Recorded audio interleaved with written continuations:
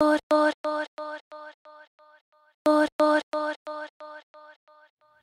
and Sankeyz here, and we want to talk to you about bags. I've been on the search for the perfect bag for me for a while now, and what I've been looking for is something that's functional, that's stylish, that's comfortable, and most importantly, looks good on me. Okay, then I'm ready for my close-up. This is what might be in my backpack on any given day. Usually, it's a slimmed down combination of what's on the table. But this is all I need for candid shooting, run and gun filming, recording, or editing when I'm on the road. Having a carry on only approach to traveling has forced me to be creative with how I pack and selective with what I bring with me. The GoRuck GR1 is almost $300. I got the educator discount and it brought the bag down about $220, but that's still a lot of money for a backpack.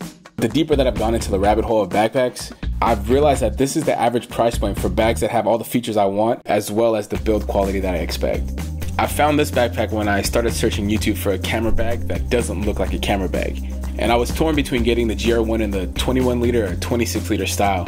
On their site, they say if you're under 6 feet tall, get the smaller bag. Since I'm 5'11, that's what I did.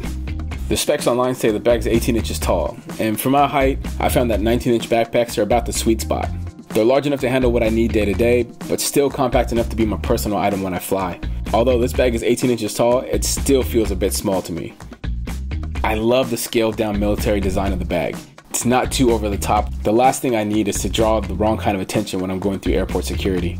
The material is surprisingly very rigid, brand new, and it makes the zippers kind of hard to open up. But I hear that's how the bags are, and they break in over time. I'm hoping that's the case with the shoulder straps too, because it's not as comfortable as I thought it would be to wear this backpack.